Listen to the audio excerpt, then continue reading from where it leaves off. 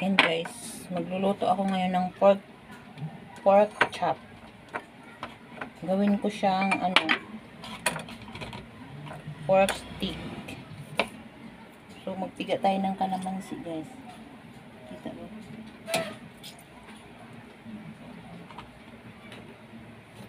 Guys, mag-ano tayo ng kalamansi.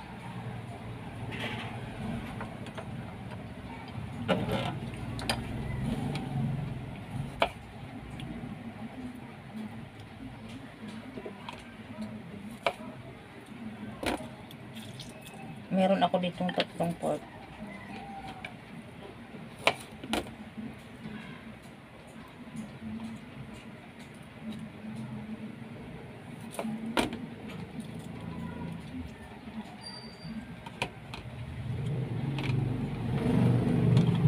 Hinugasan ko tong kalamansi. Pwede rin kayong gumamit ng limon dito guys. Wala kayong kalamansi, tapos may limon kayo, pwede rin. Pwede rin yun ninyo gamitin limon. Ako kasi walang limon. Mahal ang limon. Ito sa kalamansi. Yan.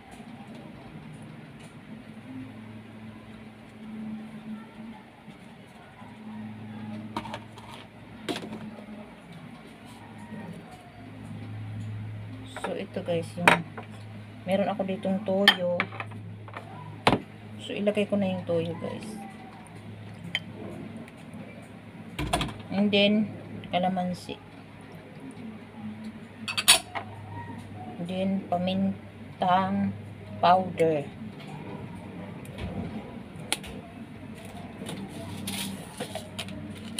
Seasoning.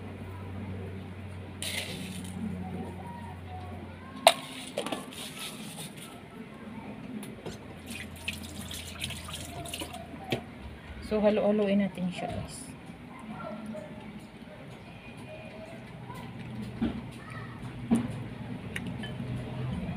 Babad natin siya ng mga ilang minuto.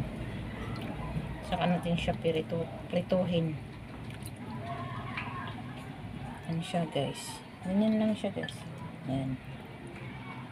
Yan. Tatlong piraso lang siya, guys. Yan. So,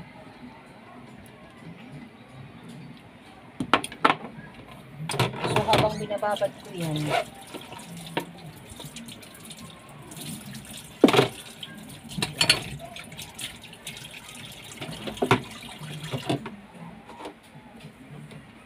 maghiwa ako ng sibuyas.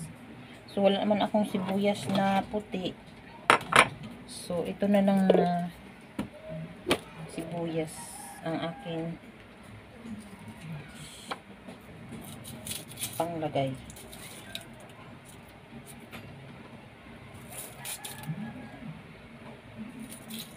Pwede naman din guys kahit wala kayong puting sibuyas. Doon lang kayo punta sa bagsak sa red na sibuyas.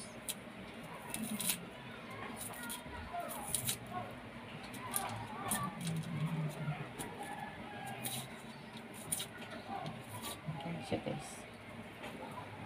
So. So, tatlong sibuyas ang ang aking ilalagay para malasa siya.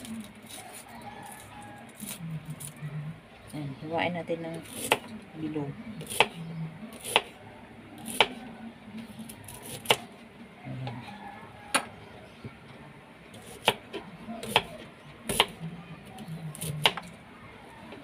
Yan siya.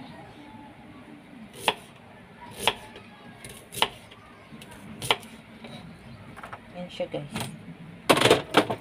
So,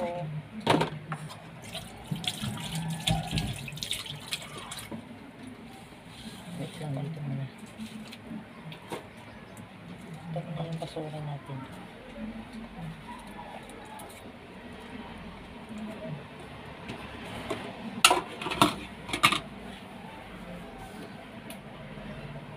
So mag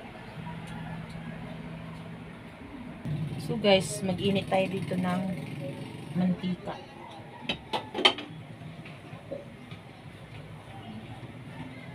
Maglagay tayo ng mantika.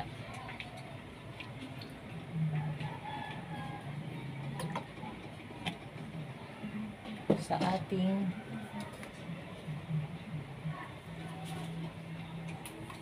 kawali. Ay, hindi naman to kawali.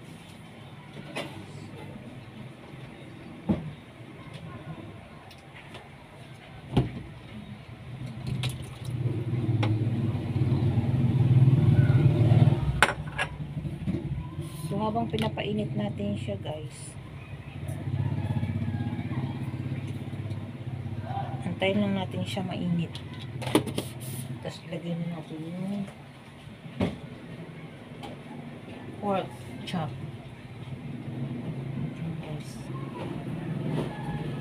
So okay lang guys, hindi ako makita. Okay lang yan.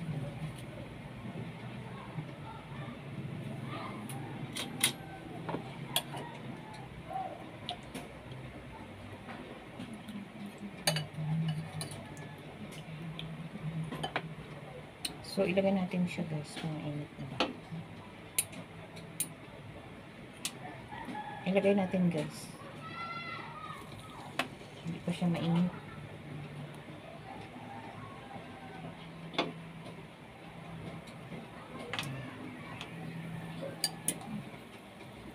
Hindi pa siya mainit.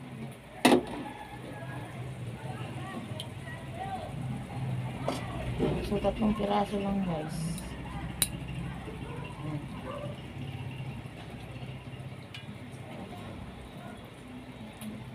So, itong minarinitan ko guys, ito yung pangsabaw natin mamaya.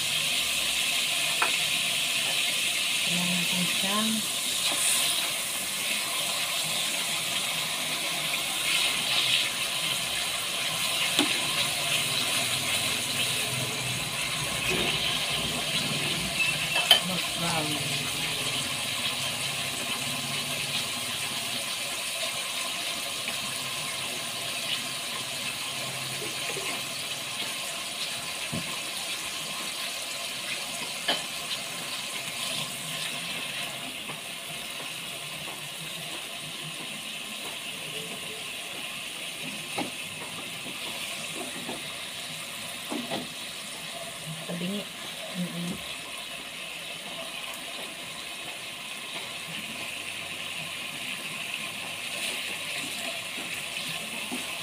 Kailangan pala guys, pag nagluto ng ganitong steak, kailangan tututuhin pa muna yung baboy. So pagkatapos, ilagay mo na yung, ilagay mo na yung sibuyas, lagyan mo siya ng sabaw. Ayan.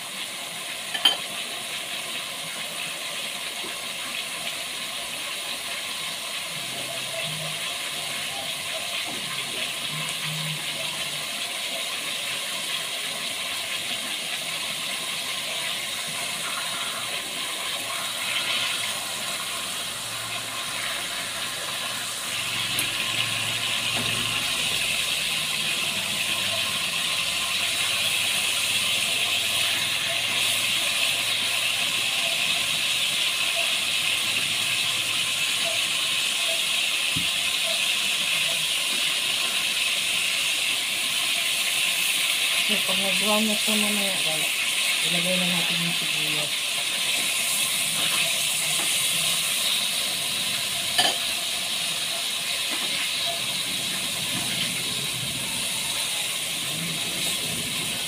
Yan na pala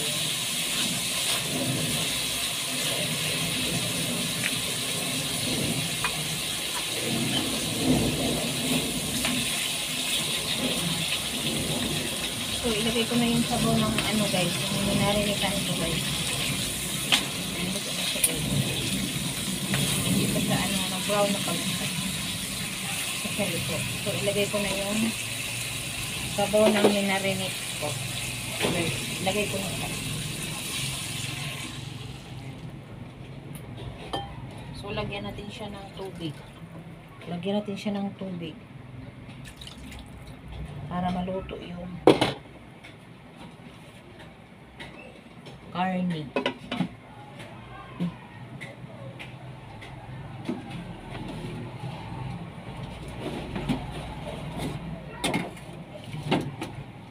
Hindi siya pantay. Hmm.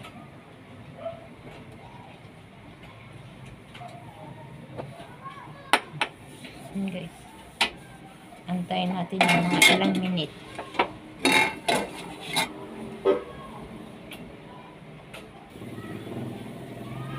Ayan na siya guys. Kumulo na siya guys.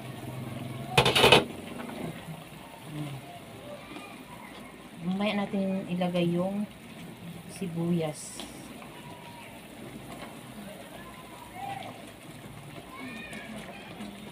Palambutin natin siya guys.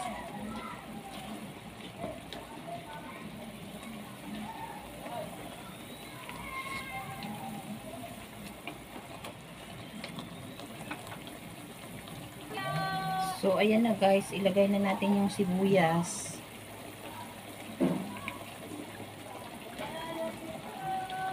Antayin na natin lumambot yung sibuyas. So, takpan natin guys.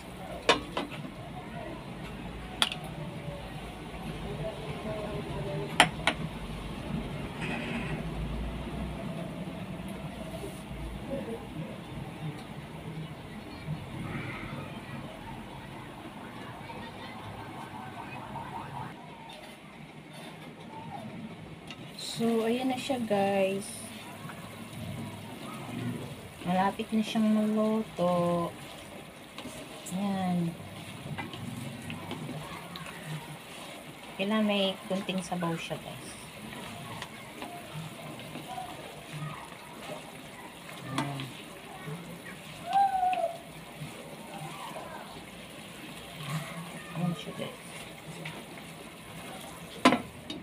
konti.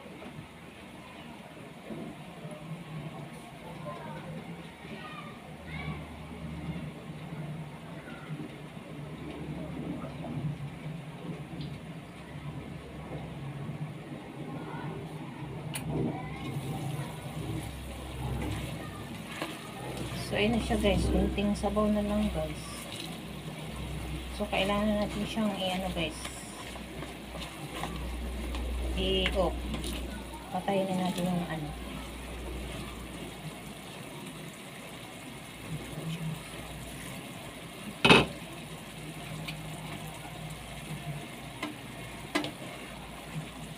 So, ilagay na natin siya dito guys sa ating lagayan.